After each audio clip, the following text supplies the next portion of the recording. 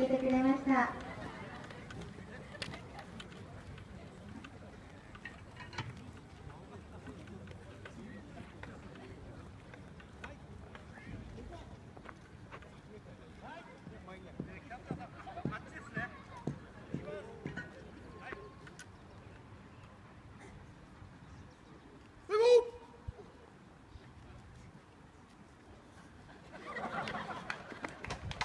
スタンドの皆様、今一度大きな拍手をお願いいたします。本日の始球式ピッチャーを務めてくださいましたのは、外野手のゆるふが、ゆるく親父くんでした。ありがとうございます。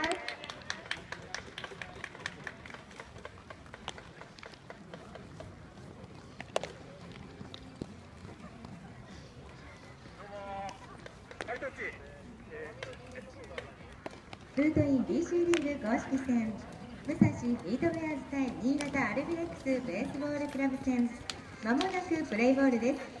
皆様どうぞ熱い声援をお願いいたします。そしてゲームを最後までお楽しみください。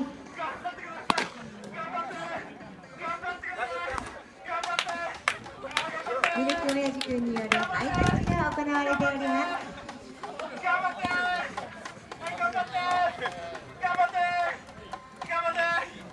頑張って